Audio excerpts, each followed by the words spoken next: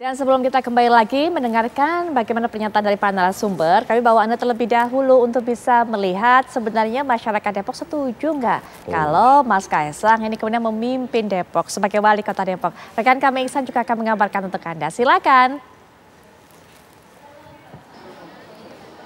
Ya selamat malam Pupi dan juga pemirsa PSI menang wali kota Kaisang Itulah tulisan yang terpampang nyata di salah satu baliho di, di salah satu titik di kota Depok dan saat ini saya ingin bertanya kepada masyarakat bagaimana sih tanggapan mereka mengenai isu uh, mau naiknya Kaisang atau putra bungsu Presiden Joko Widodo sebagai bakal calon wali kota Depok di pemilu 2024 yang akan datang. Nah saat ini saya tengah berada di uh, salah satu titik di kawasan Depok. Mari ikuti saya untuk bertanya kepada masyarakat uh, bagaimana tanggapan mereka. Uh, selamat malam Mas, maaf boleh minta waktunya? Malam dengan Mas siapa Mas? Angga. Mas, uh, ini kan ada isu bahwa Kaisang ingin naik jadi wali kota Depok ya. Ini oh, iya. menurut Mas setuju atau enggak? Uh, kalau saya sih setuju-setuju aja Mas. Setuju Karena, aja, kenapa Mas? Uh, udah saatnya lah generasi milenial untuk bisa jadi pemimpin daerah itu suatu oh, hal yang baru. Apalagi Kaisang kan juga anaknya Pak Jokowi, kakaknya, bahkan iparnya juga kepala daerah juga kan. Jadi bisa sharing atau berbagi ilmu lah gimana caranya jadi pemimpin daerah yang baik dan bikin Depok jadi lebih maju lagi. Tapi kan ini kan mengingat umur Mas Kaisang ini masih terlalu muda Mas, pemimpin yang masih sangat muda. Ini menurut Mas tanggapannya seperti apa Mas? Ya muda juga bukan berarti nggak bisa kerja kan, kerja kerja kerja gitu. Dia kan itu tadi dia bisa terus belajar, apalagi sekarang dia bukan belum ya, belum kader partai, ya. belum kan? Ya intinya partai apa pun lah nanti yang mengusung beliau jadi Depok satu itu intinya jangan pernah apa namanya uh, berhenti belajar. Oh, berhenti belajar. Berhenti belajar. Oke. Terima kasih banyak Mas Angga atas waktunya. Uh, pemirsa kita akan tanyakan lagi. Selamat malam, Kakak. Ini sih Kak, dengan Kak siapa Kak? Saya dengan Mira. Kak Mira, ini mengetahui Mas Kaisang ini putra bungsu Joko Widodo akan mengajukan diri sebagai bakal calon wali kota. Ini menurut Kakak gimana Kak? Uh, menurut saya sih saya setuju ya. Uh, saya setuju. Uh, uh, karena dia sudah ditunjuk dan dia juga menyatakan bahwa dia siap berarti 70% tuh dia udah uh, yakin bahwa dia akan uh, memajukan kota Depok. Nah, kalau Mas Kaisangnya sendiri kan yakin. Kalau kakak sebagai warga Depok nih, apakah sangat yakin atau seperti apa kak? Uh, saya yakin, selama orang yang ditunjuk itu yakin, saya akan yakin uh, 100% bahwa dia akan memajukan kota Depok. Oke, okay, okay, ya. siap ya. Terima kasih banyak kak atas waktunya. Ya pemirsa itu tadi tanggapan dari beberapa warga Depok di mana sampai sejauh ini Kaisang sendiri sudah mengkonfirmasi dan memberikan klarifikasi bahwa dirinya siap untuk melaju menjadi Depok satu dan beberapa sinyal juga kuat dukungan dari beberapa partai lain seperti Partai Gerindra, Gerindra yang menjelaskan bahwa jika memang ini benar informasinya maka uh, Gerindra juga ikut akan mendukung Kaisang pada pemilu uh, wali kota 2024 yang akan datang. Sementara demikian uh, Putri saya kembalikan ke Anda di studio. Kasih untuk informasi yang sudah Anda sampaikan Pak Rev. Kita memang ya. baru nanya kepada dua warga, tapi mungkin bukannya tidak mungkin dua warga ini kemudian juga mewakili suara warga Depok lainnya. Mereka pengen, ya. ya betul. Artinya juga ada kans buat ada suara potensinya tinggi untuk Mas Kaisang juga kalau melihat tadi pandangan dari dua warga. Tapi nanti ya Pak Rev ya hmm. bisa berikan pandangan kita jeda sejenak kami sudah kembali saat lagi. Kita kembali akan perbincangan Pak Rev dari dua suara tadi ya. jangan-jangan ya. bisa goyang dominasi PKS di Depok nih goyang-goyangin biasa aja ya. Mm. Tapi saya sebetulnya kurang tertarik membahas ini seperti yang sampaikan saudara saya ini. Terlalu pagi, mungkin mm. mungkin belum subuh juga ya. Mm. Kami PKS dan bersama Koalisi Perubahan lagi fokus bikin kejutan mm. Mm. pada Pilpres 2024 kan, 14 Februari 24. Mm -hmm. Ingin menang satu putaran Anies itu. Itu targetnya. Itu kejutan. Sehingga kemudian yang seperti ini tidak dipikirkan? Oh dipikirkan tetap, hmm. calon kita kan kita pikirkan. Tapi seperti yang saudara saya bilang, terlalu pagi kita. Pak Nusriwan senyum ah. loh tadi waktu dibilang satu putaran. Pak nah. kan boleh kan kita punya target satu putaran, bikin kejutan, namanya kejutan. Yeah, yeah. Kejutan. Kalau kejutan itu orang harus satu putaran namanya. Okay. Kalau nggak dua putaran, nggak kejutan namanya. Nah gitu. Ini mudah-mudahan kan yang membolak balikan hati manusia ini kan Allah ya semuanya masih terbuka. Oke. Okay, saya kalau ditanya Anies sekarang surveinya terendah, saya bilang alhamdulillah bagus terendah. Mm-hmm. Ya sebelah, ya gitu. Kalau kita tinggi sekarang, tauconya jeblok gitu kan. Nah, mm. mal- malah jelek kan, nah, gitu. Bagusnya kita underdog gitu ya. Baik, baik. Rendah, tautnya kita menang satu putaran, kejutan. Itu baru kejutan deh. Baik, Ah, baru ya. mengagetkan dunia.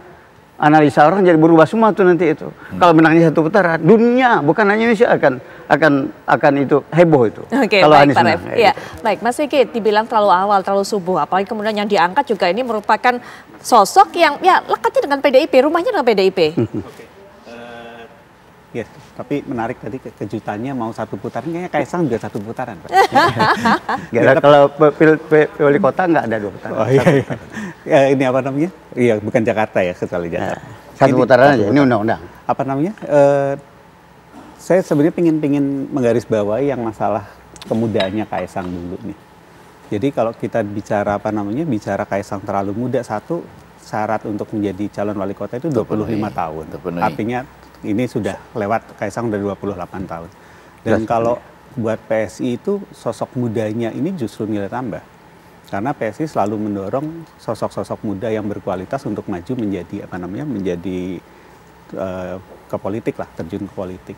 Nah, apakah tadi misalnya mampu nih kalau Mas Effendi mena- eh, menanyakan mampu nggak kira-kira apa namanya eh, Kaisang membenahi Depok yang tadi Ya. berat nih tugasnya. Kalau saya lihat Mas Kaisang punya eh, managerial skill yang tinggi. Dia entrepreneurship-nya tinggi, dia punya apa namanya punya banyak sekali usaha-usaha yang sukses dan jangan lupa Februari atau Maret kemarin itu Mas Kaisang mendapatkan apa namanya mendapatkan ini gelar salah satu dari 40 under 40 dari Fortune Indonesia. 40 under 40 Fortune Indonesia itu adalah tokoh di bawah 40 tahun yang berprestasi. Ya, baik. Jadi Dalam bidang dalam bidangnya masing-masing. Ya. Ada yang apa? Ada yang olahraga. Kalau Mas Kaisang lebih ke entrepreneurship-nya. Jadi artinya managerial skill dia tinggi gitu. Ditambah dengan mentor-mentornya tadi udah disampaikan juga, mentor-mentornya hebat memang dan memang dari PDIP, betul.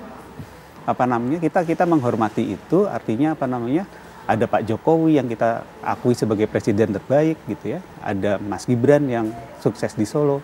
Ada Mas Bobi yang bisa membenahi Medan gitu. Kita itu kita akui dan dan memang itu PDIP. Dan kalau misalnya pun nanti Mas Kaisang maju dari PDIP ya kita senang-senang aja sih Pak. Kita koalisi aja Pak. gitu. Karena apa namanya eh, buat kami sebetulnya sosok Mas Kaisang ini diperlukan untuk menyatukan so- eh, suara-suara kelompok nasionalis di Depok. Sehingga apa namanya eh, nggak masalah buat PSI. Misalnya nanti Mas Kaisang karena misalnya memang ada aturan bahwa keluarga dari satu partai harus ikut Kalau partai saya sih itu, nasionalis ya oke aja. nasionalis sudah selesai kita. ya. Iya. Kita ini nasionalis semua. Siap. Nggak ada lagi dikotomi, dikotomi jangan lagi kita Siap. Iya, baik. mengkot- mengkotomi itu. Cabah Baik, silakan. bangsa Ya, ya. Jadi eh, kalau kami kami ingin mengajukan ini gitu. dan menurut saya sih ya nggak ada masalah siapa pun gitu. Mas Kaisang masuk PDP kita senang-senang aja. Baik, oke. Masuk PSI ya bahagia sekali gitu ya.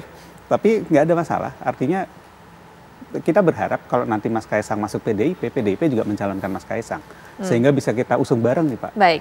Gitu ya, kira-kira seperti itu. Baik, Pak Nusman silakan mungkin penutup juga diberikan tanggapan terakhir. Apa kita diajak juga koalisi aja yuk Pak kalau gitu kalau sama-sama dorong Kaisang. Ya, kalau saya yang pertama dulu, saya sampaikan yang berkaitan dengan muda tadi ya. Eh, Mas Gibran pun pada waktu tampil di Solo juga kategorinya juga pada waktu itu usianya mirip-mirip saja dengan adiknya sekarang yang mau didorong yang masih pagi ini tadi gitu ya. Ternyata juga bisa bahkan kemarin Mas Gibran di Rakernas menampil eh, salah satu di antara lima kepala daerah kita yang diminta bicara di forum rapat kerja nasional. Jadi itu kalau di tempat kita itu ada ukurannya eh, mana yang berhasil dan sukses. Ternyata dengan usianya eh, pada waktu tampil di di Solo mampu untuk menjalankan pada usia pada waktu itu. Jadi itu bisa terjawab gitu ya. Nah, berkaitan dengan eh, nanti kalau di kemudian hari, ya tentu karena ketentuan peraturannya pencalonan itu kan dari partai politik. Maka kalau ya ini yang sangat pagi ini tadi sudah ada yang mendukung, kami sangat gembira. Ternyata kader dari keluarga kader teman-teman apa namanya yang saat ini berada di posisi-posisi eh, pemerintahan maupun itu ternyata layak menjadi tempat untuk ditampilkan. Sangat kita. Ya, kita sangat gembira karena ternyata yang ditunjuk oleh Ibu Ketua Umum itu semua nggak salah itu. Oke, karena oke. kepala daerah itu semua kan ditandatangani atas rekomendasi Ketua Umum Ibu Megawati. Hmm, Baik, Jadi Pak Nusirwan. ternyata menunjuk Mas Gibran, menunjuk Pak Jokowi apalagi sudah 5-7 kali Hmm. pemilihan itu eh, benar semua. Sekarang menjadi tempat untuk nempel-nempel supaya bagian gitu termasuk sampai anaknya pun Hmm. eh, apa namanya dibanggakan oleh partai yang lain kami sangat bangga ternyata keputusannya partai itu nggak salah Baik, maka besok pilihlah partai yang menunjuk orang yang benar Oke, Nah, baik gitu. Pak Nusirwan. Ya, itu singkat itu saja. yang penting. Dan soal nanti bagaimana bentuk koalisi nanti itu masih lama, masih Baik. November. Baik, sangat, sangat cepat. saja. Sang Kaisang, sang menang, sang pisang. Tadi sudah dijawab soal usia muda, tapi sang Kaisangnya kita bertanya, kalau bukan anak presiden begitu juga nggak perlakuannya gitu ya. Kemudian sang pisang tadi, oke 40 terbaik dalam em, manajerial tertentu, apakah dalam pemerintahan daerah atau tidak. Sang menang ini bersegi tiga. Disambut oleh Gerindra, kemudian bagaimana dengan PDI Perjuangan Ya, yang saat ini nanti akan berhadapan di Pilpres. Tapi salah satu jalan keluarnya tentu saja tadi ada sekolah partai yang sudah dijalankan oleh PDI Perjuangan. Dan lepas dari itu selalu bergembira kita. Kalau melihat ada presiden yang kemudian membebaskan anaknya gitu. Ah. Anda silakan loh mau pakai baju siapa boleh, mau bikin iklan seperti itu, walaupun nanti bisa terjadi kan ada komunikasi di dalam Baik. partai karena dia kader terbaik partai Baik, gitu. Baik, ya. Bentar, di Tangsel itu kita pernah koalisi tiga loh. Iya. Oke, oke. PDIP, Gerindra, dan PSI. Oh, Baik, iya, iya. Dan itu setelah tet sebelumnya kita ribut di Pilpres kan? Baik, Iya, baik, iya, baik, iya. iya. Ada Baik, tapi terima kasih Bang Ege, terima kasih Mas Widodo, terima kasih Pak Nusirwan, terima kasih Pak Arif juga terima kasih.